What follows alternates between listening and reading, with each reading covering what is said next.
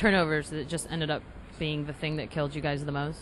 Oh yeah, you know, look, we, we put ourselves in a position, you know, up one with 29 seconds, uh, and you know, we lose the game, and you know, once again, we gave ourselves a, a great opportunity to win the game. We didn't, but obviously having 22 turnovers uh, that led to 29 points didn't help. But still, with that being said, you know, we still still had the lead and had the ball with 29 seconds to go, and came out on the short end.